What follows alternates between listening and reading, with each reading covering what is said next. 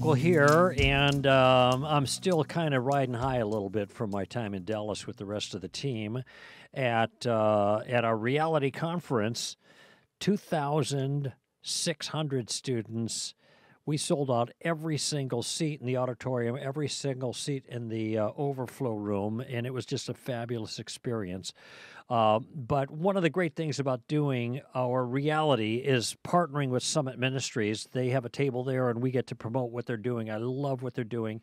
Uh, been working with them for 25 years, and we have as our guest today Dr. Jeff Meyer. He's the president of Summit Ministries, longtime friend and colleague. And Dr. Jeff, it's great to have you on board today. Welcome. Greg, thanks. Welcome. I'm glad to be part of the show, and thanks for including our summit team. They loved being at the reality conference, and I'm looking forward to a chance when I can actually see that myself in person. Oh yeah, well.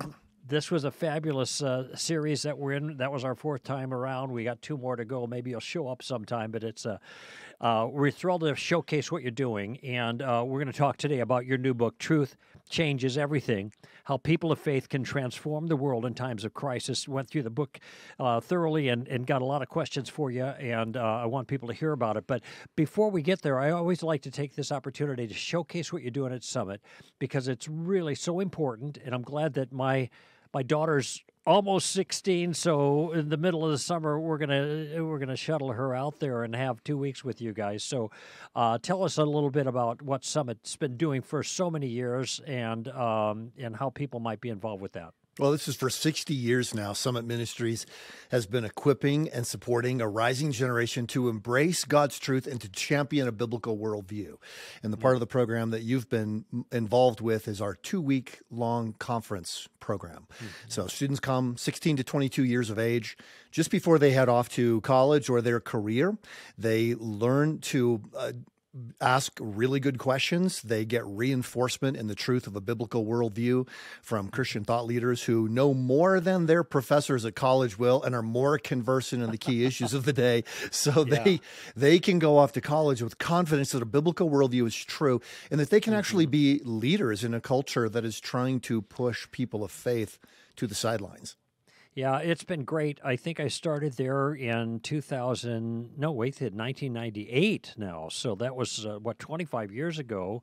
Uh, under different leadership, then Doc was on board, and then you took over him for him a number of years ago, and handily made the transition, and have been uh, piloting that ship for quite a while. Summit has been doing great work, and I actually meet kids all over the country, Dr. Jeff, who um, who have been to Summit and uh, now they're I mean they're grown ups. They got their own kids they're sending to Summit, but they have nothing but good things to say about their experience there. So I'm, I'm looking forward to sending my my. Uh, my my daughter there, my youngest daughter there during the summer. But our time today, we're going to talk a little bit about your new book, "Truth Changes Everything," and um, you know your your book. But basically, let's launch this way. I, I whenever I talk to an author, with a great book, I, I have like five different ways I could start the conversation. so let, let's just start with your two general goals and um, tell us what the, the two general goals of the book are uh, and why they're so important.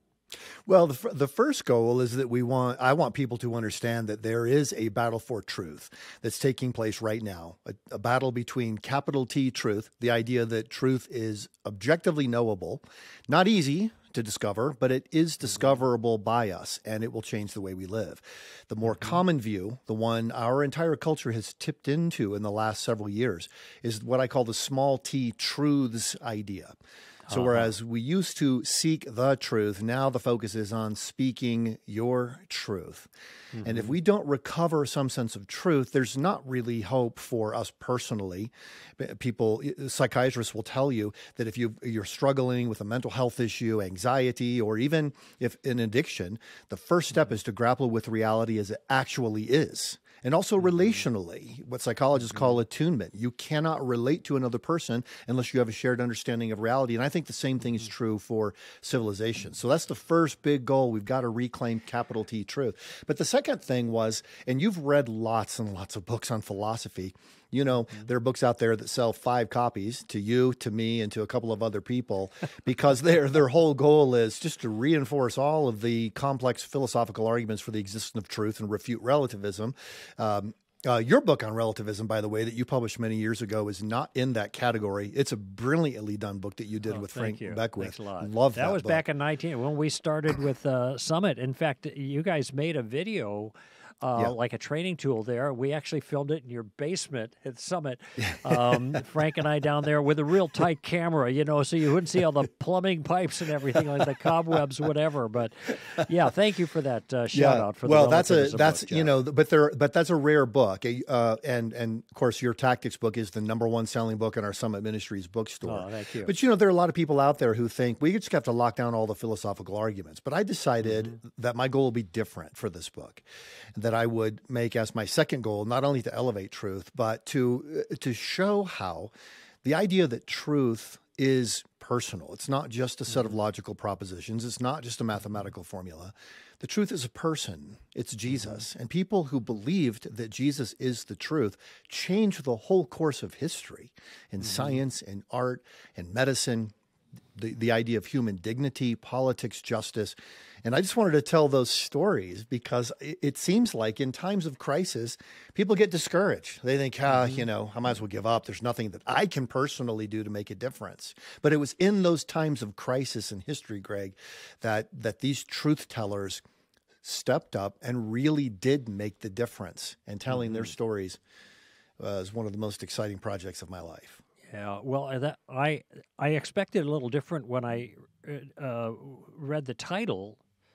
In terms of the content, I thought it was going to be another one of those kind of books that talk about truth and uh, a correspondence view and truth matters, and Jesus gets in there somewhere. And I know the quality of the things you produce, Jeff, uh, is fabulous. But I thought it was going to go down that road, and you spend a lot of your time telling um, historical accounts. I don't want to say even stories; they're narratives, they're um, anecdotes, so to speak, but of things that you just described. The the Christians who took truth seriously and then took it into their own fields and their own endeavors and transformed the world. And this is a lot of this information is stuff that you know people don't know about they just don't realize uh, I, I sometimes tell people and we'll get into this later but the world is literate because of Christians, missionaries that went out and taught people how to read and write so they could read all over the world at great, at great um, uh, danger to themselves. But let's let's work on some of the foundational stuff first, just to because I think that um, there's so much confusion about this issue. Uh, I love this line that you have in the book, and maybe you can respond to it to help lay a foundation for how we look at all of this. The, you say truth is is hard to find, not because it hides itself, and you made reference to this a moment ago, but because we're looking in the wrong place inside ourselves. Let's talk about that a little bit. Well, because you've been out here uh, to our headquarters at, of Summit Ministries in Manitou Springs, Colorado, you know that we're right across the street, literally, from Pike National Forest. One million acres of pristine hiking, biking. Yeah. Uh, it's just, it's an incredible place. But if you go very far out, you might get past some of the more well marked trails and you can get lost. So, what we encourage people to do if they're doing extended trips into the wilderness is to get a topographical map. Those maps show not only the terrain, but they show you different landmarks. And then you bring a compass. So, you, with that map and with a compass, you can find where you are and you can figure out how to get where you need to go. But that's hmm. only if you're using the compass properly. If you take the compass and say, you know, I always know where I am because I make sure the red needle always points directly toward me, right? You, those people are still out there. I mean, you, you're not found. You're more profoundly lost. Ninety-one percent of Americans say they believe the best the best way to find themselves is to look within themselves. And the biblical worldview says, no, the best way is to relate yourself to some objective truth that is knowable. You know, Fixed you're in, point. and it's a fixed point of reference. When you're in the wilderness, it's magnetic north. It's not perfect. It's not mm-hmm. perfect north. It's not true north, mm-hmm. but it's close enough. And that's what we're really looking for. You know, no map describes the contours uh, exactly. Otherwise, the map would be as big as the area it's trying to describe. But you want to be sure it describes the contours accurately. And so Right. that's really the claim that we make about Scripture. You don't have to understand every single thing, but if you have uh, if you have a sense of what that true north is, and then those basic guiding principles, then you can find your way. Yeah, I, have always preferred the metaphor map to describe worldview. I mean, different people use different metaphors, and it's fine. Uh, some people talk about a lens that you look through, but I heard J.P. Moreland say once, well, if all of our lenses are colored and we're looking through colored lenses, then we never really see reality. And he says, I think we actually see reality as much as it as we can, can are exposed to. But the idea of a map, which which charts the topography of reality, a worldview well, now you can test it, your worldview, your map of reality, against reality to see if it actually tells the truth or not. And this is a big part of what you guys do at Summit is help to show not just what the Christian worldview is, but how it matches the way the world actually is, and then can serve to be our guide in that world because we have a reference point outside of ourselves that's accurate to the world. Make sense? That's how that's how we view it. So a Christian worldview then applies to everything. It's not just how you feel about God; it's how you see everything else because mm-hmm. of your relationship with God. Right, and right. at Summit, students are surprised to discover that we not only talk about theology, we also talk about philosophy, ethics, science, right. psychology, sociology, politics, law, economics, history. All of it relates.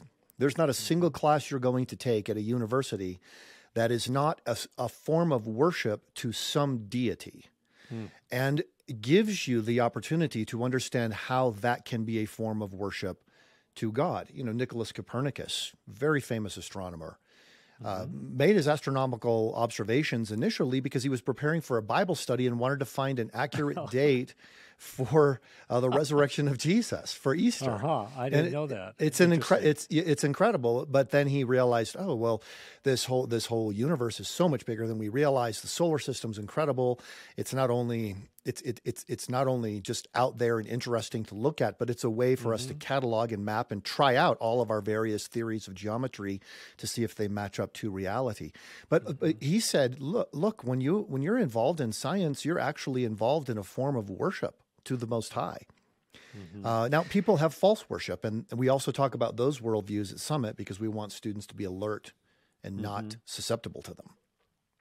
You know what I think about truth. Um, you know, in a certain sense, um, this concept is really simple, straightforward, commonsensical, down to earth because we and we use it all the time we talk about, well, you know, uh, the, the, train is late or the plane is late or it's leaving or whatever. Really? And we think, really? And all we're saying is, is that true? Is that the case? But there's been such a transformation, it seems to me, in the culture about um, our understanding of truth that has had a real impact on us. And and I want you to talk about that a little bit. I know that you've done some recent polling with the McLaughlin and Associates, uh, and, and Barna's done his deal, and the um, Arizona Christian University do their thing every year. Tell us what you're discovering about the shifting understanding of truth um, in our culture, and especially with young people, the people that you deal with on a regular basis at Summit. Well, we found in in the polling, and it's we don't we're not a polling company at Summit. We train mm-hmm. young adults to be right. leaders, but we do polling. We have a great polling partner, McLaughlin and Associates. They're also the polling partner of you know people like Benjamin Netanyahu and and uh, a lot of others, but they help us understand the pulse of mm-hmm. of the culture. And the pulse of the culture right now is that the, the young. It seems that the younger people are, the more they believe that truth is up to the individual mm-hmm. rather than that truth is objectively discoverable. Mm-hmm. Uh, so th- somebody said postmodernism is dead. That is a premature announcement. Uh, mm-hmm. Postmodernism is now fully flourishing in the culture because people believe that words don't describe reality, words create reality. So mm-hmm. when we talk about things, we self construct our own reality, and that's all we can know to be true. Of course, you know, you have to assume that somebody actually figured that out, right? Yeah, uh, right. this, is, this is that. Well, this is that in a certain sense, the conflict of that notion. Where on the one hand, and it, it you know, I, I, I, don't know who put it this way, but uh, I mean, it's the, the, view I hold that when it gets right down, push comes to shove, everybody is a common sense realist, you know, and they're and whether it's about general things or it's about morality, whatever. But but for whatever reason, and we, we know about the reasons for that, the fall and rebellion and all kinds of stuff. We were just reading with a caller last hour when I did a show, and it was uh, you know Romans one. They suppress the truth and unrighteousness. There are things that people come up with that they they go along with because of other motives. In this postmodern deal, it's like it's really nice if if you don't if you're not beholden to God or anyone else. You're only beholden to your own beliefs. But it, but it's it's really has you know gotten its talons into the youth. How much are you experiencing? And I know with Summit, you've got a cross section of Christian young people that's very different than the standard church group. They're very committed characteristically. A lot of them homeschool, sharp group of people. I mean, I always got to be on my toes when I'm standing before a Summit audience. But uh, have you seen, uh, Jeff, a, um, a significant impact of this cultural view of truth that even with the Christians that you're encountering? Uh, no question. Yes, yes, yeah. I think we're seeing the fruit of it now. Seventy-five percent of the young adults we work with say they do not have a sense of purpose that gives them meaning in life. More than fifty percent say they regularly struggle with anxiety and depression. Huh. A third of them say they don't know what gender they are. So it, it, the confusion is now complete, and so mm-hmm. young adults are coming we asked them, bring all of your hard questions with you. And one of their right. fundamental questions is, why does any of this even matter? Can I even really know anything at all? You know, the, when when students used to come to Summit Ministries, uh, you know, I'd been an instructor long before I became president. Right, right. And students would ask questions like on sexuality, for example. They would ask questions like, uh, "Well, how far is too far?" Right. Uh-huh. That's the main question they were asking. Uh, this last summer, I had a student, one of a very bright student, sit down with me at lunch, and he said, "Can I've got my list of questions, just like you said. I'm not sure where I am with God, but uh, I just, you know, can I ask you a question?" And his first question to me was, "What is it aside from consent that should govern my sexual ethic?" Mm-hmm. Mm-hmm. And I thought, hmm. man, that is a very different question. Yeah, I mean, there, he's not asking. Any... Mm-hmm. He's not asking the question, "Should I have sex?" He's asking. Yeah you know, is there anything outside of I'm willing, the other person's willing, therefore it's okay? Right. Right. Uh, and, and, and he's confused. He's not uh, fulfilled in his relationships, mm-hmm. but he can't figure out why because he's he's he's grappling with a wrong understanding of reality. And you know, mm-hmm. you mentioned Romans one. Scripture throughout Scripture calls this uh, deception. It's self deception. It's being double minded. James mm-hmm. is, is, is the way James put it. Well, you have mentioned before, I think I've heard you say this about that the cultures, uh, that somebody's going to disciple your kids. And uh, the, the culture is doing the biggest job because they have a hold of our kids the most time, whether it's public schools or TV or movies or radio or music, whatever, they're pounding these messages in. And I actually was a little bit surprised with the numbers you gave if they reflected even the young, the numbers of the young people that you're encountering at Summit. Because, like I said, they're cut above, you know, and they come from a very, much more, characteristically, a much more well educated, um, theologically educated, and motivated. Uh, group of people than say the standard church crowd but it just shows how powerful how uh, how aggressive the and corrosive the culture is on the thinking of our kids when christian kids raise questions like that. We're glad we're they're raising them and that you're there to answer them but when they're honest these are the kinds of questions. It's not like like you said how far is too far? There isn't a too far anymore. It's not even on the map. Right yeah. Uh, so so what what if you if there is no ultimate meaning, if truth is not discoverable, then what am I going to do when I encounter problems? I am my own God. Well, that's pretty that's right. frightening because I'm lost. I don't uh-huh. know where I'm going. I don't mm. know what's wrong with me, but I know I feel anxious all of the time or depressed. Mm. That's what mm. students are are telling me these days. And and so to understand that they can they can go back to scripture, have a foundation, and then for them to realize that truth exists, but it's not just the way the Greeks talked about it. Uh, mm-hmm. Uh, you know, the, the Greeks had this term for the obviousness of reality. If you step off mm-hmm. a cliff, you're going down. Even if you mm-hmm. feel strong feelings of upness, you're going down. Mm-hmm. That that word for the obviousness of reality is logos. And in John mm-hmm. 1, Scripture says, in the beginning was the Word. Well, that mm-hmm. word for word in Greek is logos. The The scripture's transforming that philosophical concept to say that word is actually a person. He's the one who created the world. Nothing was made apart from him. In him is life, and that life is the light of men. Now, so this is a real important concept because I, I this it's it's uh, in Scripture. It seems like the concept of truth is played in both directions. You know, in a very creative way. One is obviously when it says "Thy word is truth."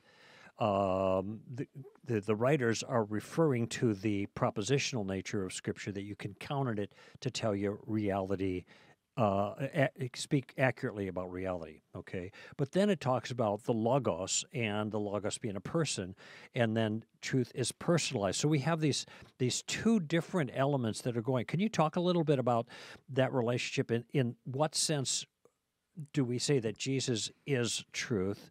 Uh, that isn't to disqualify the other notion of truth, but how do those play off of each other? I'm curious about your your response to that.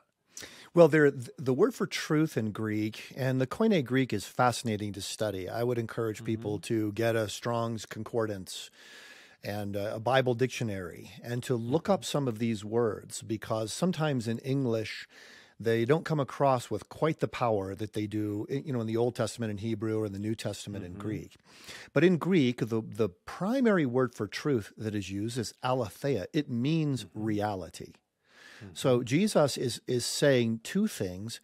Uh, I, I'm going to bring the light so that you can see reality, and I am that reality. I am the mm. way, the truth, and the life. John mm-hmm. 14, 6. Uh, you can see it in how Jesus treats Scripture. You know, Jesus doesn't say it used to be said or it was mm-hmm. written. He always says it is written. Mm. That the the idea that Scripture is actually alive and present with us is a- an important part of Jesus' teaching. And, and people had a very hard time grasping that. Mm-hmm. But, you know, the Apostle Paul, Peter, all, actually all of you, the rest of the New Testament bears out the nature of that testimony and how it applies to everything else. Yeah, I, I think one of the keys here, it's so important and it's manifest in everything you guys do at Summit, is that we're not just talking about propositions, we're not just talking about facts. Facts are critical, they're foundational, but the facts are integrated in that personal relationship, that friendship with God manifest in the Word that became flesh and dwelt among us. Um, I, I want to. Um, You've already hinted at this a little bit, but I wanted you to address it eh, specifically. What would you say to Christians who believe that truth is somehow lost. It's it's uh, and, I think there's, as you expressed, there's a lot of anguish out there. There's a lot of darkness that people are feeling. This uncertainty, even if they are somehow committed, they're to Christ, but still the culture has shaken them up so much with regards to confidence regarding truth that they're they're thinking, look, at there's no hope uh, for this generation, though. What's your response to that, Jeff? Well, you know, Satan in Scripture, uh, in the Hebrew, it's actually it's literally Satan in Hebrew, and it means adversary. Uh, it is the one who lies to us about the actual state of things, and and the, this this is a is a, is an existence. There is actually, a, you know. There, there's actually sort of a personality behind this. This is not just, you know, a rock falling on you. Wow, that's a terrible accident. No, this is on purpose that there is a deception that is ongoing and that's that's one of the key teachings in scripture. You've got to free ourselves from that deception. The father of lies. uh, that's right. Colossians 2 8 talks about that. Uh, 1 corinthians 10 5 uh, 2 corinthians Mm-hmm. 10 5 i'm sorry talks about that. We've got to recognize that this is a battle and that it's it's it's real. So uh, i think hopelessness is one of the is it's both a cause and an effect of the kind of culture in, in which we live, where people mm-hmm. see that things aren't going the right way. I mean, how could it mm-hmm. possibly be that our culture seems so decrepit sometimes when 68% of people claim to be Christians? Yeah, yeah, yeah. You know, h- uh, uh so what it's a we- head shaker. I agree with you. it is. Well, what, one thing we found, Greg, is that we st- in our polling that we did with the McLaughlin group, and we do this every month. Mm. So we've got dozens and dozens oh. of questions that we've polled on now. Mm-hmm. And one of the key findings that I was shocked by, we asked people, well, if you know the truth, why don't you say anything?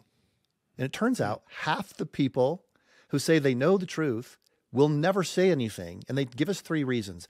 Number one, they're afraid they'll be canceled. Number two, they're afraid they'll offend somebody. And number three, they don't know what to say. Hmm. Well, if you've got if you've got half the people who know the truth who just won't say anything, they won't live as hmm. if the truth is really true because they're afraid. Then it is always possible that a tiny, tiny minority of the population can control the narrative for everybody right. else.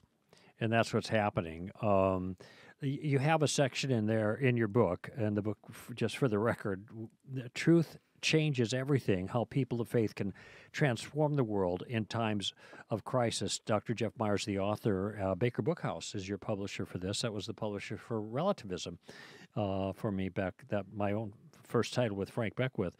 Um, so, since there's this kind of anguish or angst or whatever about the possibility of knowing truth, even among Christians who hold on to truth in some sense, but with maybe a high degree of uncertainty and therefore the angst, um, you talk in your book some of the reasons we can believe or be confident that truth can be known. Can you offer some of those thoughts here? What are some of the tools that help us out? And then we're going to get into some of the stories that you talk about of the way people influenced, uh, who are followers of Christ and uh, believers, pursued truth and have a dramatic influ- influence on the world. How do we know truth? Well, there are a lot of good books that talk about this. So I just tried to summarize. I didn't want this to be the main focus of the book. But uh, one one thing is that truth rises. If someone says there is no truth, then they're proclaiming the existence of a truth. It's not even possible to say truth is not knowable without proclaiming that there is a truth that you can know. And so it, it could just be a trick of language, but it does seem that truth rises whenever we try to even deny its existence. The second thing is there's a there's a knowable relationship between words and the things and ideas to which they refer. If I talk about a chair, the word chair is not the same thing as a chair. But we can have we can reliably uh, use those words because the things and ideas to which we refer have essences that project themselves back to us.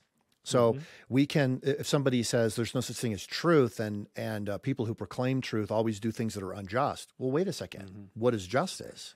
If there's uh, no such thing as if there's no such thing as truth, there's no such thing as mm-hmm. justice. Justice is just another word. But if uh-huh. words can reliably and knowably refer to things, then we can have a conversation. If someone says I disagree with you, then they're they're actually saying that they believe there is some kind of a truth that is knowable, right? Mm-hmm. Otherwise they wouldn't even bother to mm-hmm. say because words have no meaning. They wouldn't be able to disagree because to disagree is to say that you're wrong and I'm right, kind of thing. And that's trades on the notion of truth. Yeah. uh, you Right. know, and even if they're just saying, I have a different perspective and I need you to hear it, they're mm-hmm. still saying, I have a perspective of something. Yeah, that's So, right. so ideas and things and the relationship of words, that's knowable. A third thing is the relationship between facts and opinions. Uh, you know, a lot of people today in the postmodern world are saying there really aren't any facts. It's hmm. all opinion, it's all perception. Even mm-hmm. the facts of the physical world, time, mm-hmm. space, distance, and so forth, are all relative to our own perceptions. Mm-hmm. But we know this isn't actually the case. If if I were to say, "Hey, did you know that water boils at 212 degrees Fahrenheit at sea level?" You might say, "Well, it depends on atmospheric conditions," but you wouldn't mm-hmm. say, "Well, that's your opinion." Mm-hmm. Right. Or it's same with historical facts. When I say Martin Luther King was shot on April 4th, 1968, it wouldn't be appropriate for someone to say, well, maybe in your culture that's true, but not in mm-hmm. mine. Mm. So we know we know that there there are these facts that exist. Well, then what about moral facts? And that's where oh, people start to say, okay, well, there are no moral facts, just opinions. But we mm-hmm. know the difference between caring for an animal and torturing an animal. And we know that it's not just a, a word choice, that there is an actual difference between those things. Most people know that. But the big thing for me, and, and I, I, I'll say this because it's a little bit of a shocker, but it, there's a point here, and that is as a Christian apologist, I love the problem of evil. And the reason I love it is not because I love evil, but the problem of evil is something that everybody's aware of, no matter where they lived or when they lived. And uh, the complaint that they have is that evil is real and objective. So, if morals are just like you described, many people will say just relative to one's own experience, there can't be a problem of evil. There can only be some things people like and other people don't like, and you know that's all you can say about it. So, uh, I, what occurred to me also in a very simple way is this: you can actually test the world to find out whether your views are true. You got on board here because you got an email that had a link, a Zoom link that you could click. So there was an implicit claim there. You push this button and click it, you'll see Koukl's face here before too long, and we'll have a chat.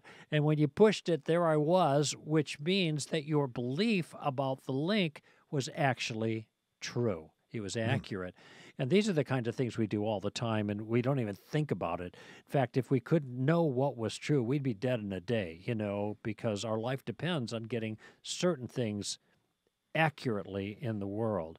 So let's take a shift here. You start out with um, um, you start out talking about the plague. Okay, uh, and you use that as a motif, kind of, to get into this this broader issue of truth. And tell us a little bit about why you use that um, as a launch for this discussion in your book. Greg, I've had a lot of people say our times of crises are worse than any crises that have ever happened in the past. Mm-hmm. There's no hope for us now. There might have been hope in the past, but they just didn't have it as bad as we do. So I thought, mm. no, let's go back to a time in history when people really were in a rough spot. Yeah. Let's go back to the Black Death in the mid 1300s. The first time the plague struck in a massive way and that we have recorded history for in Europe a third to a half of the people in Europe died in the most gruesome, painful way imaginable. Wow. Okay. That's worse than the political struggles that we have in our time. That's worse yeah. than the cultural struggles we have in our time. Mm-hmm. So I thought, what what happened in the aftermath of that? Because if there ever was a time in history where you you might have understood if people said, "Look, God has clearly abandoned us; we're going to abandon Him," that might have been it. But that isn't what happened. Mm-hmm. What actually happened is there were Jesus followers who pressed in rather than try to escape. So mm-hmm. I mm. tell some of their stories. Catherine of Siena is one of my favorites. Mm-hmm. She's she said, "I'm going toward the sick," and everybody said, "You got to get out. I mean, we're leaving. Anybody who has money or connections is leaving." And she said, I'm not leaving. I'm going toward the sick. Mm. Why? They asked her. And she said, Because Jesus sits with the suffering and I want to mm. be with Jesus. It was very simple for her that mm. Jesus is the truth and I'm going I want to be with Jesus. And and mm-hmm. out of that really came the whole system of medical care that we that we think of as important today. But it wasn't mm-hmm. only that. It was in economics, it was in science, in all of these different mm-hmm. areas. People said, Jesus is not separated from us. He's right here suffering with us. You mm-hmm. see massively the change in art. I mean, you can walk into you know the Accademia Gallery in Florence, for example, and you can see the difference between the paintings from the 1200s and the paintings from the 1300s. Hmm. Because it came, it's like life really came to life. Hmm. The, the person of Christ really came to a, a, a whole new level of uh, wow, we don't just like Jesus, we need Jesus. We love Jesus. It's because of Jesus that we have eternal uh, salvation. And so, therefore, we can go into the world. And if we die, we go to be with Jesus. But if we live, then we get to glorify Him and bring blessing and mm. flourishing to the nations. It is yeah. astounding the changes yeah. that occurred. And that, that really brings us to the heart, I think, of the book. You lay the foundation about uh, about truth that we've been talking about so far, but then you go into to all these examples of how Jesus' followers have radically transformed different areas of culture over the years, starting way back then. You gave one brief example of the plague and health. Um, I'd like to kind of take each of those individually and probe a little deeper because to me, this is the encouragement that the book provides for the average Christian person who is feeling like the whole culture is against them. And I was just talking to friends whose kids are getting canceled left and right because they're just yeah. standing up for truth. And uh, and the it, it's like uh, the the sky is falling. That's easy to think. But what you describe here is when the sky was falling in many other periods of history Christians stepped up and stepped forward right in the middle of the skyfall and made a radical difference. And you just mentioned the plague as one example. Do you have more examples just about health in that broader category that you want to speak to? Uh, I would, I would love to. I, I, I, would just go back to the idea of human dignity. Most mm-hmm. of the mm-hmm. people who are listening to us right now just assume, even though we don't always act as if other people have value, and that's on yeah. us, but we know that they do. That every mm-hmm. person has value. Well, where did we get that idea? Because I majored in political sciences as an undergraduate. I was taught that that idea came from the Greeks and Romans. Mm-hmm. But my mm-hmm. deep study of the Greeks and the Romans and studying philosophy showed me that they were haughty, elite driven cultures. Sure, you had value in Rome if you were a majority culture property owning male. Other than that, no value. You had no guarantees, right. no security. Who, who brought that? Well, it was Jesus' followers who believed that Genesis 1 we should actually take seriously, that God created us in his image and in his mm-hmm. likeness, and then made us male and female. All of that matters. So the idea of human dignity, mm-hmm. secular culture can't grapple with that. You know, Marvin Minsky, the one of the pioneers of artificial intelligence, called human beings meat machines. Mm-hmm. And yeah. That's consistent with what I, I've been to Silicon Valley. I've met with executives there, and they talk about hardware, software, and wetware. You know, mm-hmm. you're just a bag of meat that mm-hmm. buys stuff. That's your only value.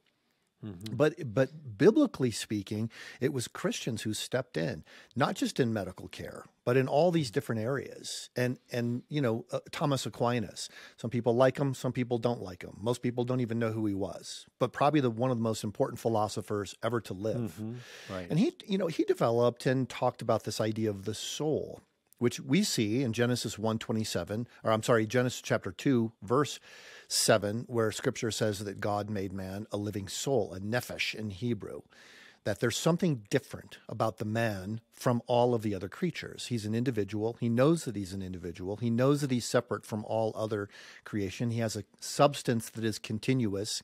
You know, if it's like I had my appendix out when I was a kid, I wasn't less Jeff my mm-hmm. cells change over every seven years. You know, right. I can't I can't say I've I did not commit a crime. You change over the years, Jeff.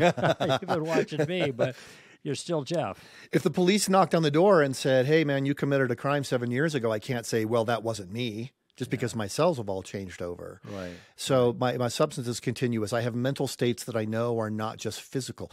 All of those things about the existence of the soul that Aquinas talked about are really significant.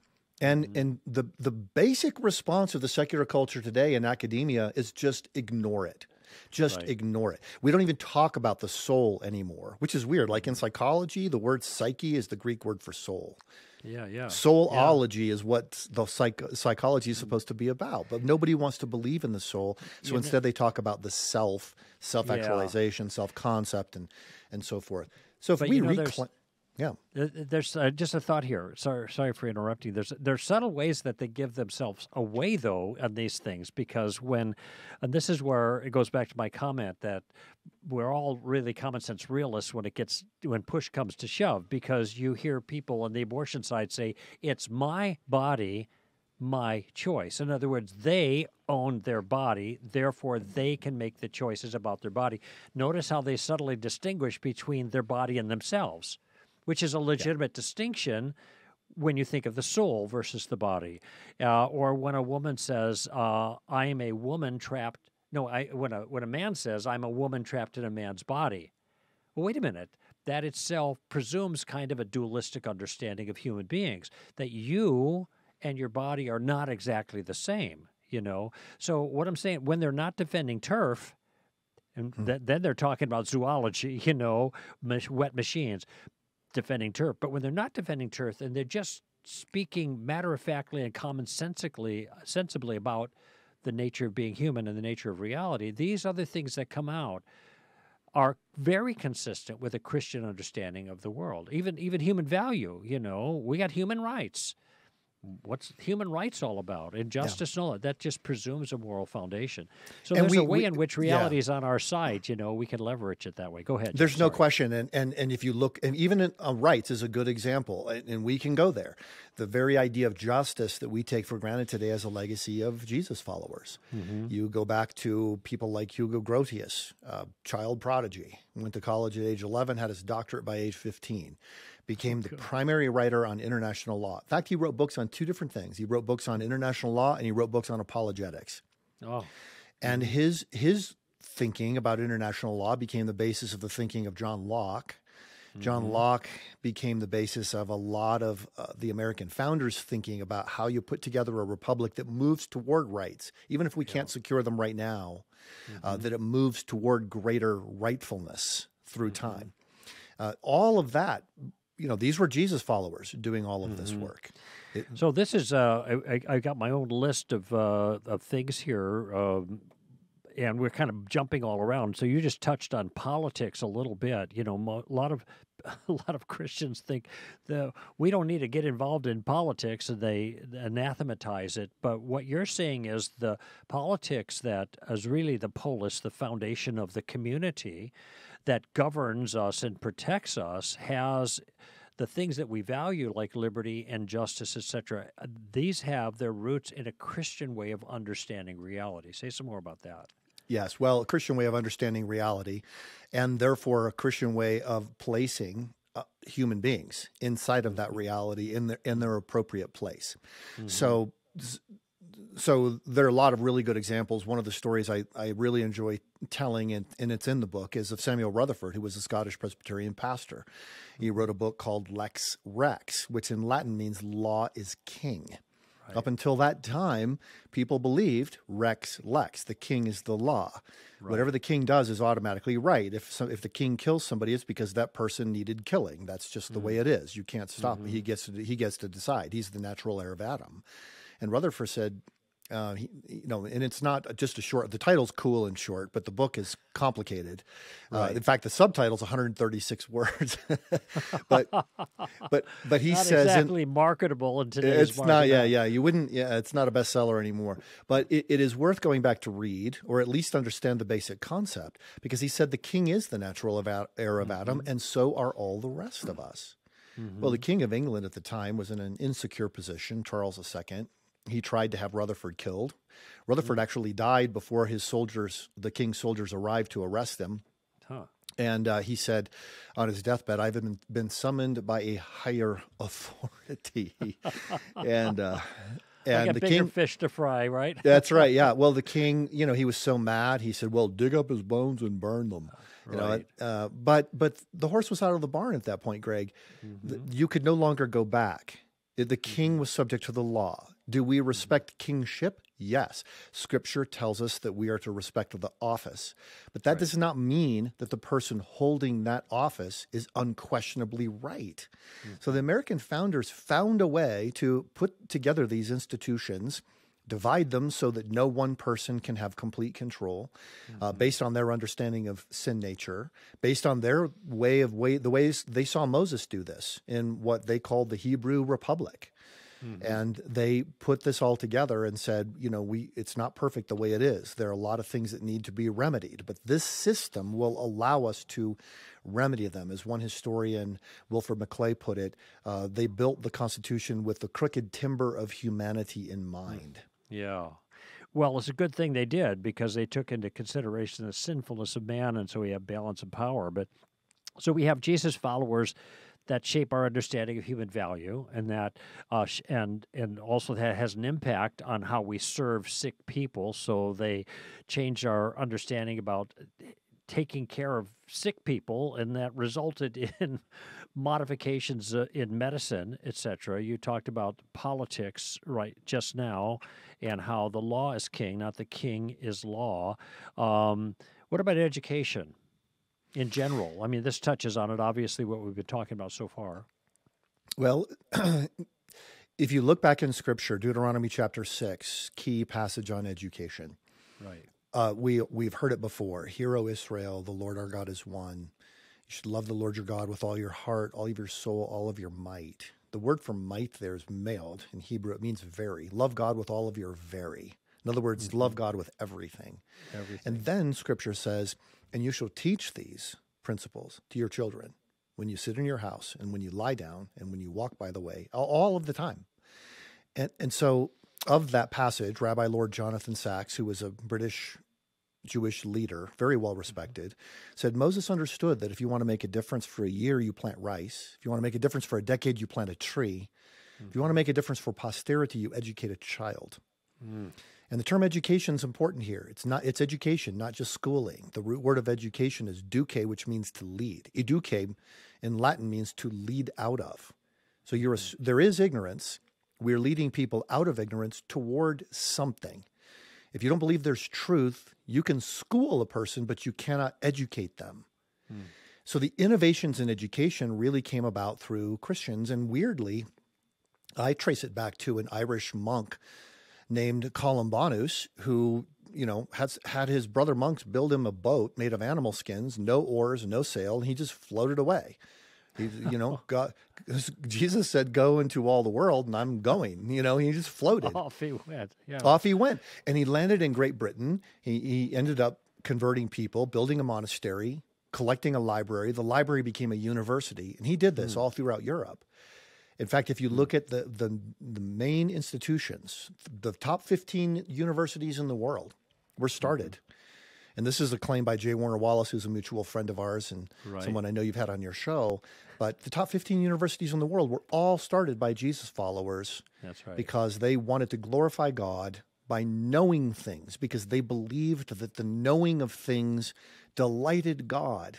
It delighted him when we discovered aspects of his invisible nature and allowed us to give glory to him. Science did not rise in rebellion against God, as the mm-hmm. Enlightenment myth says. It rose to applaud him. I, I, remember a book. I'm trying to think of the author. I'm sure you're familiar with it. How the Irish Saved Civilization. Um, yeah, Thomas Cahill.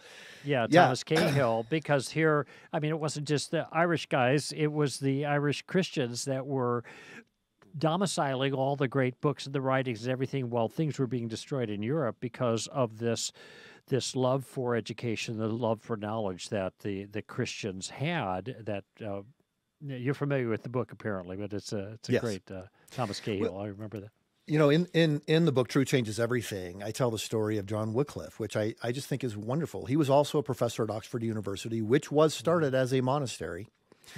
And he decided uh, the people need to hear the Bible in English. It was a very dangerous thing to do. People thought at that time Latin was the best language. If you put the That's Bible right. in English, it's like adding curse words every third or fourth word. It vulgarizes mm-hmm. it. It's not mm-hmm. only wrong, it's not only disrespectful to God, it'll earn you the death penalty. Mm-hmm. But he mm-hmm. decided to take the risk because he said Moses heard from God in his own language. The disciples heard from Jesus in their own language. People today need to hear from God in their own language. The problem was their language was not well formed. There was no standard English until hmm. Wycliffe translated the Bible into English, including adding words to the dictionary. There were 1,100 words in English that are used for the first time in the Wycliffe Bible. Huh. He standardized the English language. Well, then the English language then changed the world. Uh, this is nothing against people for whom English is not a first language or who don't speak English, but English is the number one trade language in the world. It is the mm-hmm. common use of English that has allowed the rise of prosperity. For the first time in history, more than half the people in the world live in middle class or higher homes where they actually have some financial stability.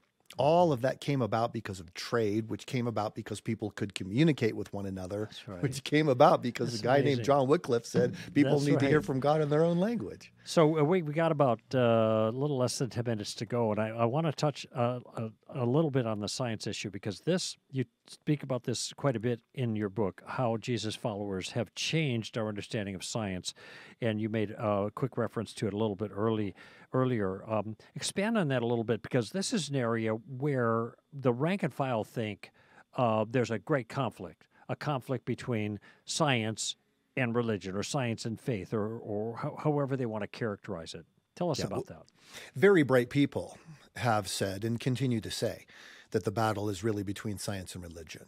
Uh, that's a myth that comes from the Enlightenment. But a lot of people believe it. Um, Stephen Hawking believed it. He said there is a battle between science and religion, and science will win because it works.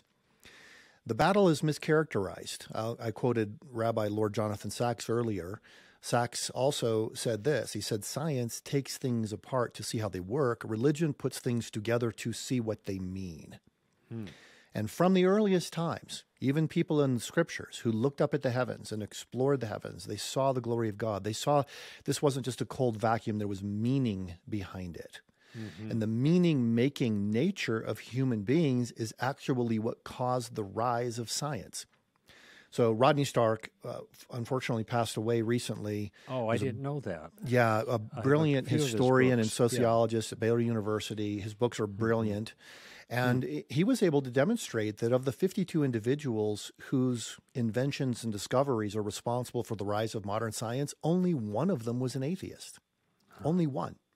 Mm-hmm. So the idea that there's a battle between science and faith somehow is not actually correct. It was people of faith who formed science.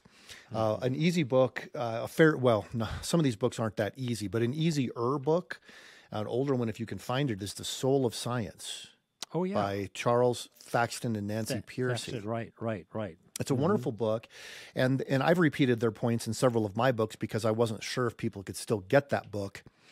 But uh, they they have pointed out that look, there's several things that are really consistent with a biblical worldview and not with other worldviews mm-hmm. that are the basis of science. For example, the fact that the world uh, appears to be designed, we can observe it, and our observations make sense because we're sense makers and the universe is designed to make sense. Mm-hmm. It is rationally intelligible because it was made by someone who is rationally intelligent.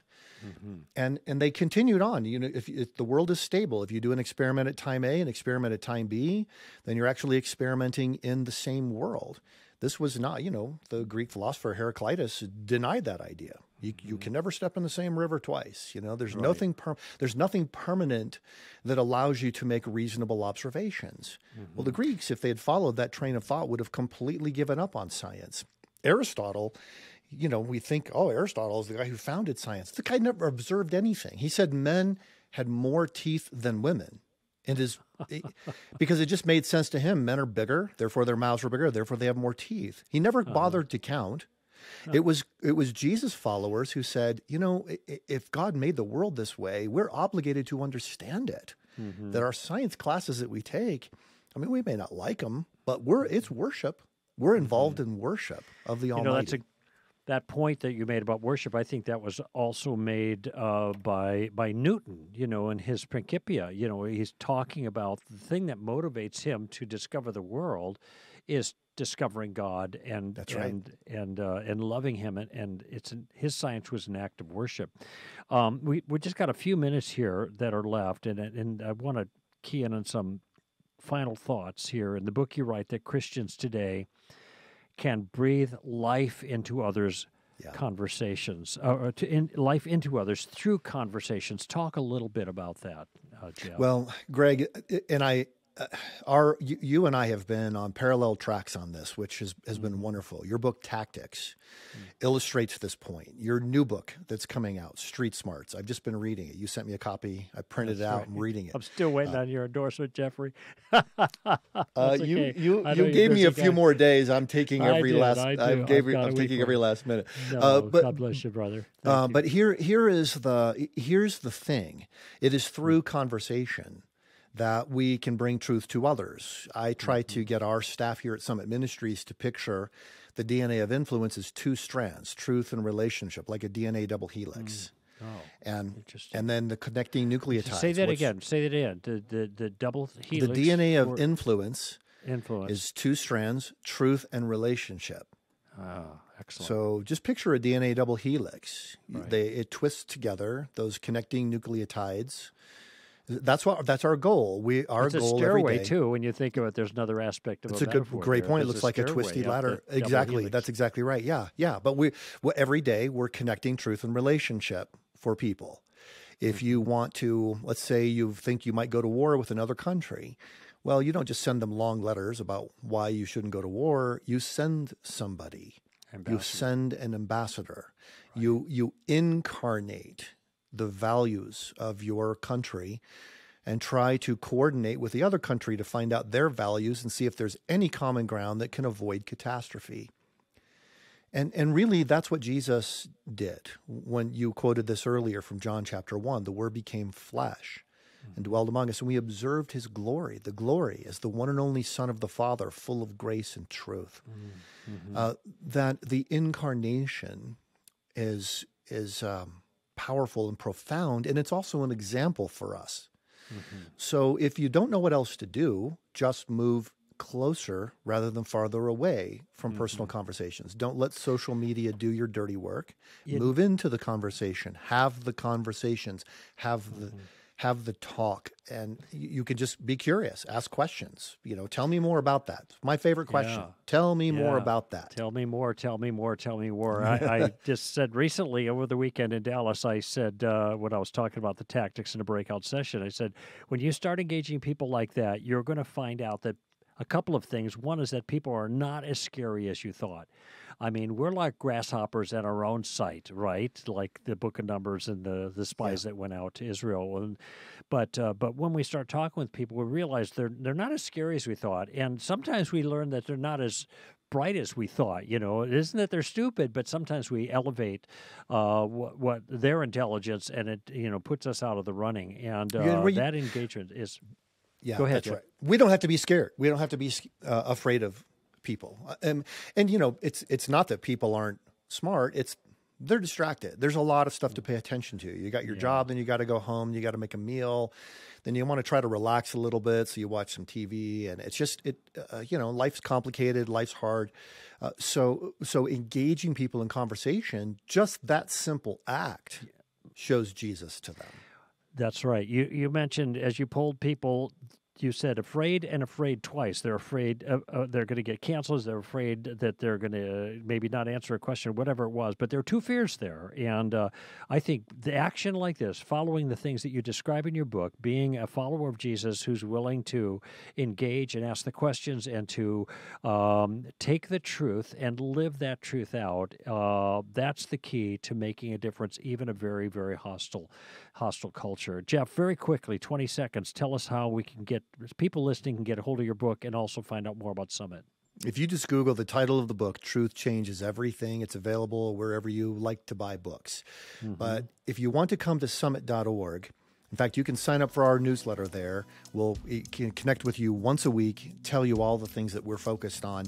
But we really want to get young adults in this program because they are the future. They're 15% yeah. of the population, they're 100% of the future, and we can influence them for the Lord and to be strong and courageous in this time. That's uh, summit.org, a fabulous organization. Um, Truth changes everything. How people of faith can transform the world in times of crisis. Dr. Jeff Myers. Jeff, thanks so much for your time here with us. Thanks, Greg.